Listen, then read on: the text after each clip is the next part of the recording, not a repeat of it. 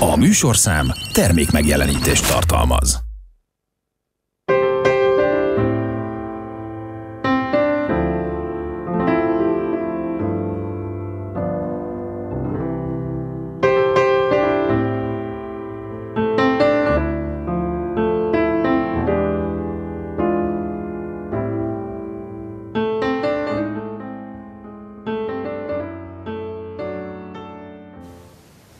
Szép estét kívánok, köszöntöm a Fehérvári Beszélgetések nézőit. Változatos, színes műsorra várja a közönséget az új évadban az Alba Régia Szimfonikus Zenekar.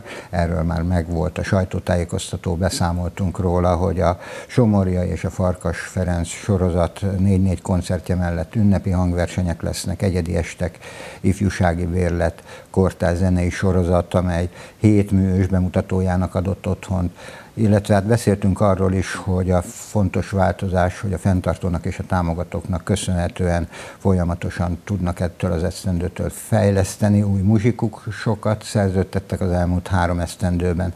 Javult a hangszerpark, ami folytatódik, és hát gazdaságilag és személyügyileg is bővült a zenekar, és azt hiszem, hogy ezzel a klasszikus zenebarátok is megerősödhettek.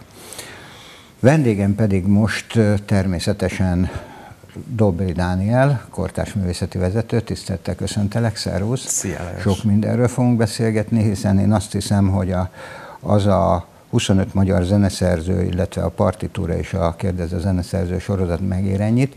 Előtte azonban a sajtótájékoztatón megkérdeztük Cserpakovics András polgármestert, aki örömének adott hangot, hogy a klasszikus zenerajongók otthonra találtak itt Székesfehérváron, természetesen a zenekarral együtt, de nézzük meg, hogy miként fogalmazta ezt meg nekünk.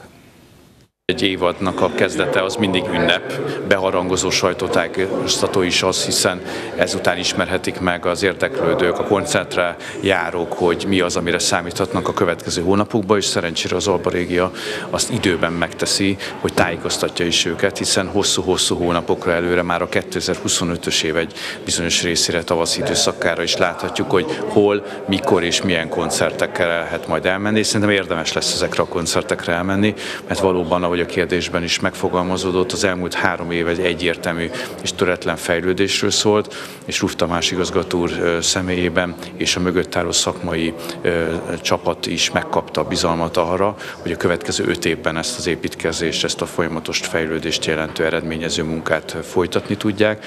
A stabilitás tehát megvan, és biztos vagyok benne, hogy a koncertek szépsége, gyönyörű élménye is meg lesz. Az épülethez is hozzá fogunk nyúlni, ahol a zenekar dolgozik a minden napokban a próbákat végzi, egy jelentős felújítást fog kapni, és remélem, hogy tudunk előrelépni a zenészek megbecsülése, illetve az eszközök, a hangszervásárlás tekintetében is. Ez volt, és ez jellemezte az elmúlt időszakot, és bízom benne, hogy ez lesz jellemző a következő évekre. És egy dologra kérem a fehérváriakat, a zeneszerető embereket, hogy az Abba Régia Szimfonikus Zenekar megérdemli a bizalmat. Higgyel mindenki, aki jegyet vásárol, ezekre a koncertekre nagy élményben lesz része, szép élményekkel, értékekben, gazdag másfél-két óra eltöltése után fog hazamenni, úgyhogy érdemes jönni jegyet vásárolni. Vásárolni. Lemaradt? No, igen. És akkor kezdjük is talán. Én azt hiszem, hogy az, hogy a, a kortárs zene meghonosodott Székesfehérváron, illetve a, az Alberégia Szimfonikus Zenekar repertoárján az neked köszönhető, illetve hát azoknak a vezetőknek, akik melletted álltak ebben a kérdéskörben, hiszen ez egy nagy vállalás volt, ami én azt mondom, hogy maximálisan teljesült az ára, elmúlt három évben. Te hogy gondolod ezt? Hiszen megtapasztaltok számtalanszor mindkét sorozatban az új partitúra, illetve a, a kérdez a zeneszerző sorozatban, hogy ott vannak a iskolások, és utána pedig egyre inkább a zeneszeretők is elfoglalták a helyüket. Ez így van. Az elmúlt három évben a zenekarral sikerült kialakítanunk valójában egy stabil kortárzenei struktúrát is a zenekaron belül. Ezt már alapból furcsa erre a dologra azt mondani, struktúra, hiszen ez a fajta kortárzene játszás, az a magyar szimfonikus zenekaroknál sajnos nem túl gyakori. Mondhatom talán szerénytelenül, hogy jelenleg az Alba Réges Szimfonikus Zenekar Magyarország egyik legfontosabb kortárzenei műhelye, azáltal, hogy nagyon sok kortárs művet bemutatunk, a Kérdezze zeneszerzőt évadunkon belül, ahol beszélgetünk is a zeneszerzőkkel a darabok bemutatója kapcsán, valamint a legfiatalabbaknak, az általános iskolásoknak és a középiskolásoknak is csinálunk kortárzenei beavató koncerteket, úgyhogy egy egészen átfogó képet szeretnénk adni a mai zeneszerzésről, a mai magyar és európai zenéről a hallgatóinknak és a közönségünknek. Amikor megfogalmaztad azt az elvet, amelynek mentén aztán összeállítottad ezt a sorozatot, mi volt az elsődleges?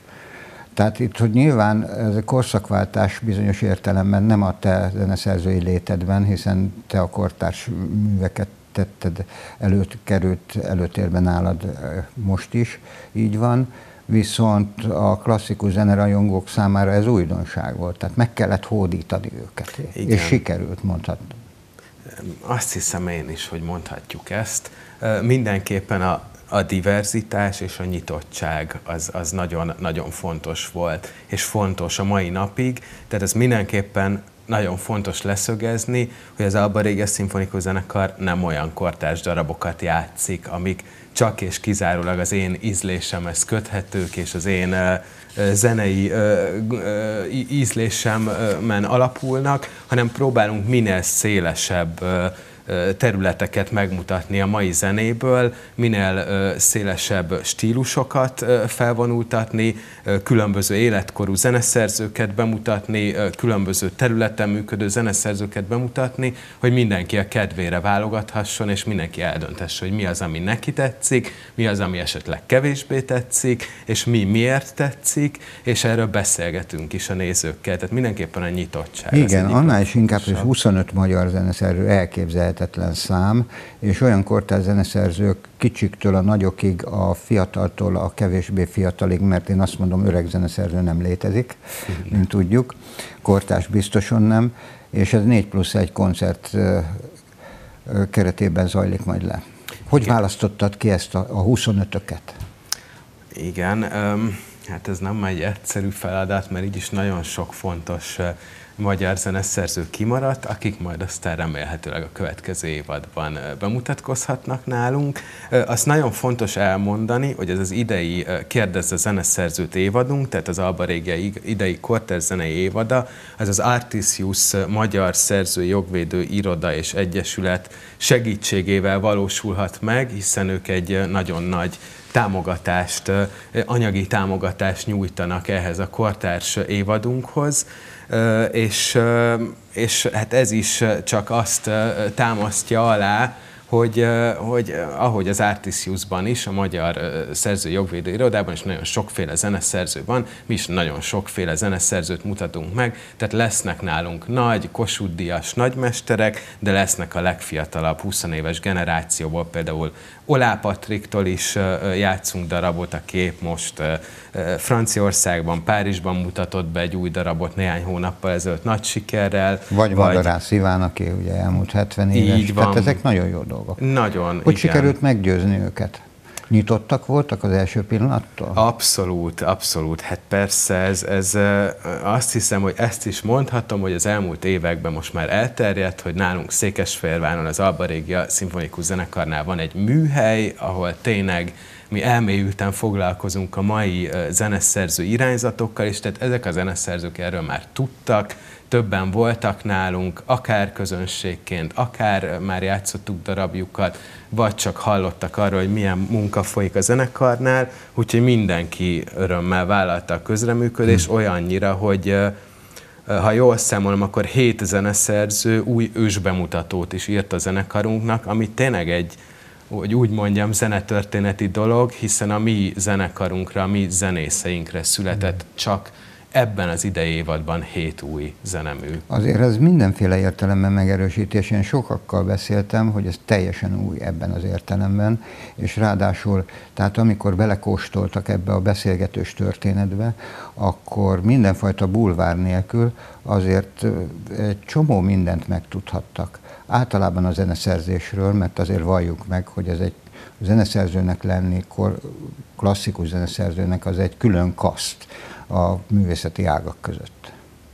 Igen, de mi próbálunk nem külön kasztként viselkedni, hát most már nem is az, nyitottabban és minél befogadóbban a közönséggel, de ez valóban így van, ahogy mondott. Tehát ez azért Hát talán mondhatom, hogy az elmúlt évtizedekben ez egy sokkal zártabb közeg volt a zeneszerzés. Egyszerűen a jellegéből adódóan, mert ez azért egy, egy nagyon introvertált, magányos, ilyen bezárkózó, kísérletezős dolog a maga a zeneszerzés, és viszont felismerte a szakma, vagy sokan felismertük, hogy hát hiába kísérletezünk mi otthon magunknak nagyon elmélyülten, hogyha aztán ezt nem tudjuk eljuttatni a közönséghez, és nem tudjuk megfelelően kommunikálni a közönség felé, és ezért egyre inkább jellemző a nyitottság a szakmákra. Az a dinamika, ami jellemzi a kortárs zeneszerzőket, az átragad a közönségre is bizonyos értelemben, hiszen olyan alkotói szabadság övezi a, a kortárs zeneműveket, ami megfogja a fiatalokat minden bizonyal, de az összes zenerajongót. Ez tudatosak egyébként ezek a választások?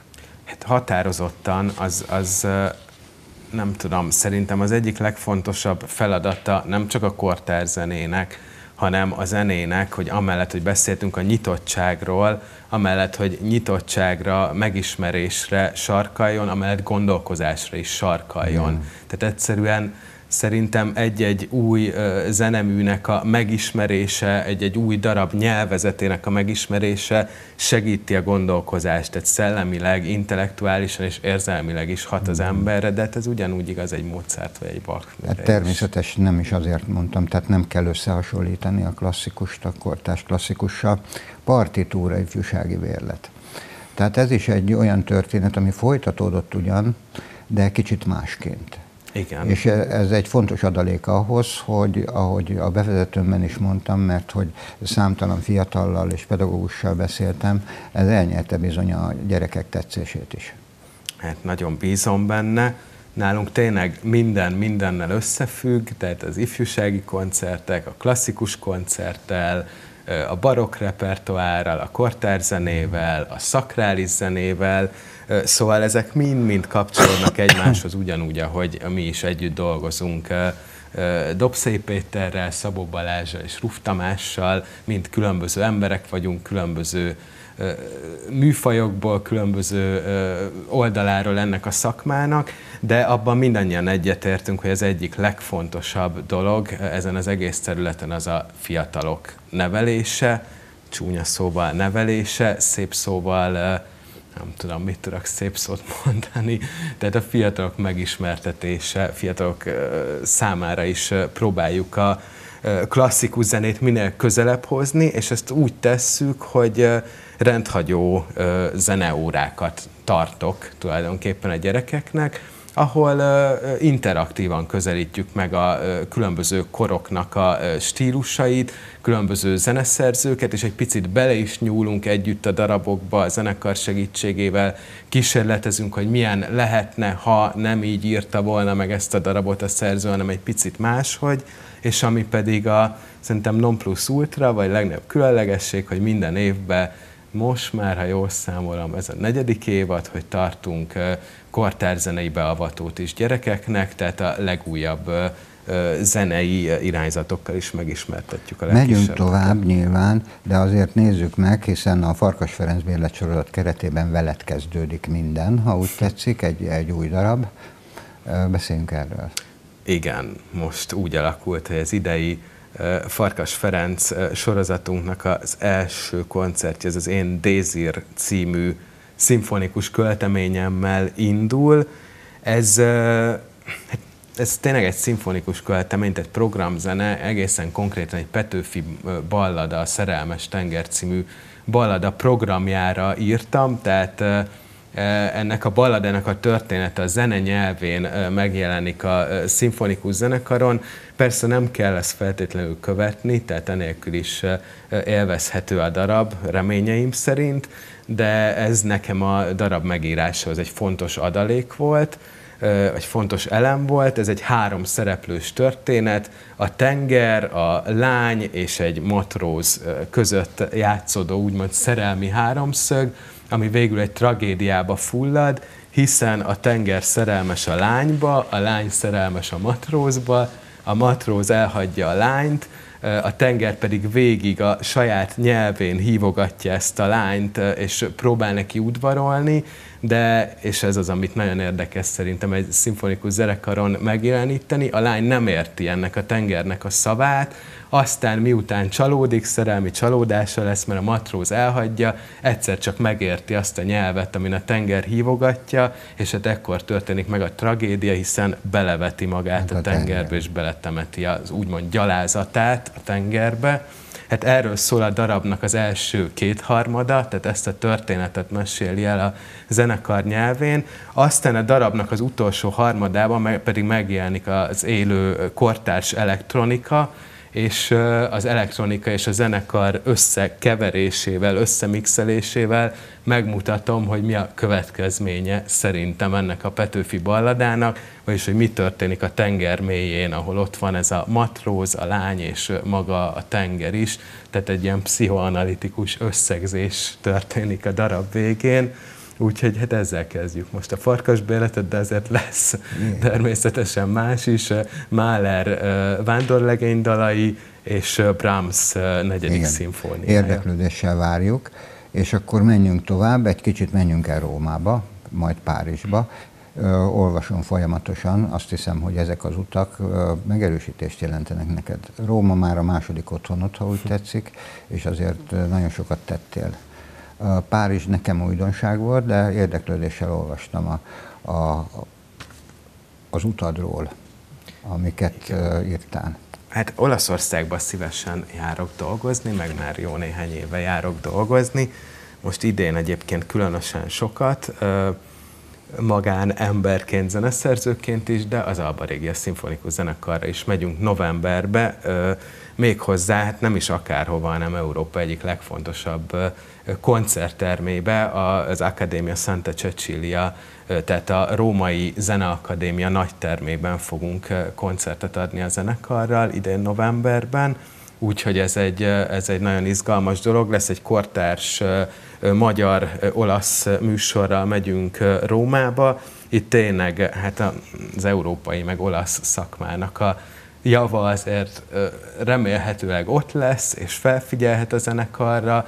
Ezzel nekem egy nem titkolt célom, hogy a nemzetközi kortárzenei életbe is minél jobban be tudjunk kapcsolódni, és hát ugyanezen okokból, és mivel szeretem az európai kultúrát, Párizs. ugyanezért Párizsban is én ügyködöm mostanában, meg egyáltalán Franciaországban, meg egyáltalán tanulok franciául, úgyhogy lesz például most egy Metzi együttműködés és a zenekarunknak szintén novemberben, ebben néhány szólamvezető, vonós zenészünk vesz részt mentorként és zenekari zenészként, úgyhogy, úgyhogy próbálunk egyre többet és jobban nyitni a nemzetközi zenei piacra, elsősorban rajtam keresztül a kortárs. Tehát olyan impulzusok értek az elmúlt időszakban nyilván, hogy ez azt hiszem, hogy kerek lesz így a Róma-Párizs, és én kívánom, hogy, hogy minél többet járjatok ki, természetesen az itthoni koncertek mellett.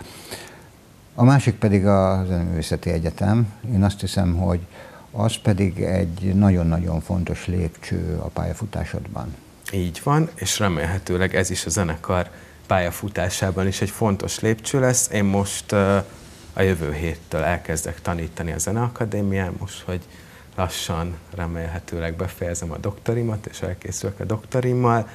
Színpadi zeneszerzést fog tanítani, most első körben óraadóként a mesterképzéses hallgatóknak, és hát azonnal lesz is egy együttműködésünk, egy gyakorlati tárgyunk a zenekar, a Vörösmarty Színház és a Zeneakadémia között, ahol az én hallgatóimmal együtt fogjuk színpadra állítani Bagó Bertalan rendezésében Viripajev Részegek című kortárs drámáját. Ez egy nagyon izgalmas feladat lesz, mert olyan a struktúrája a darabnak, hogy hát nagyon alkalmas arra, hogy, hogy lehessen ezen zeneszerzés, színpadi zeneszerzést tanítani, mert végül is rövid sketch jelenetekből áll össze a dráma, amiben hát nyugodtan, hogy úgymond elszállhat az agyuk a zeneszerzőknek, tehát a határa csillagos ég, bármit, bármit lehet gyakorlatilag csinálni, ez már csak koncepció és közös műhely munka kérdése, hogy milyen irányban megy el ez a darab.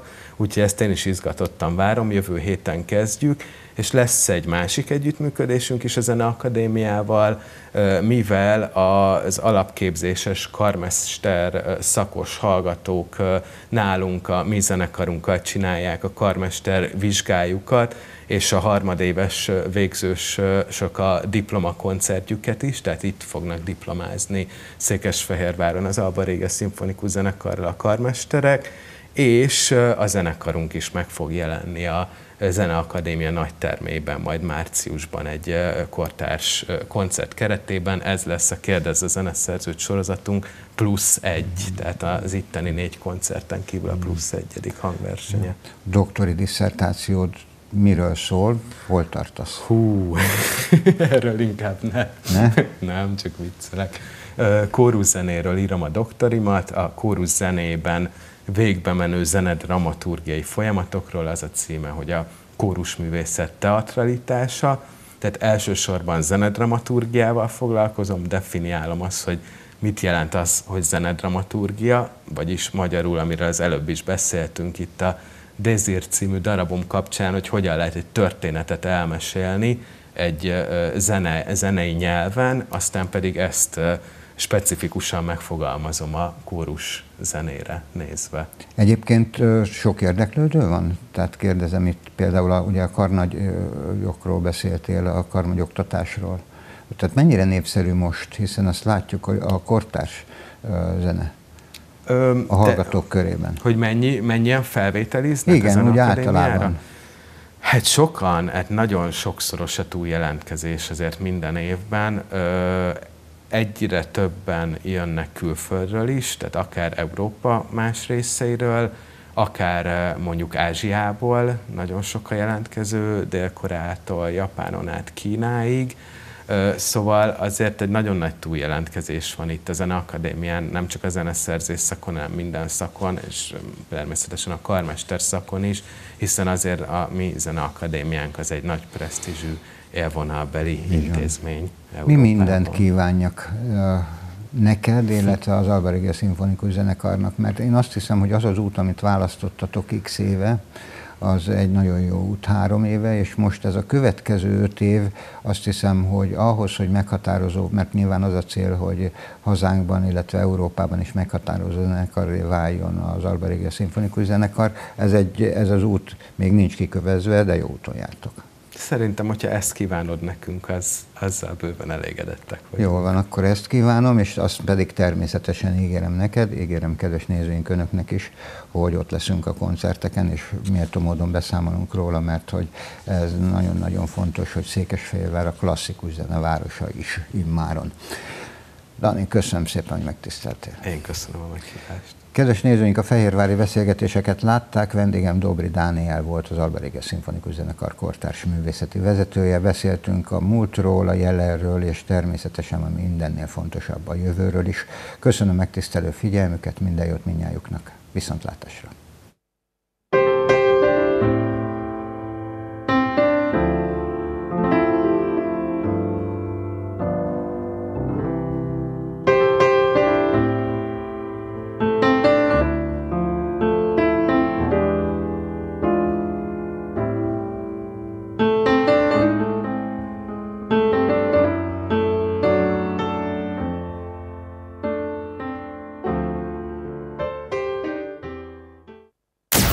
Műsorszám termék megjelenítést tartalmazott.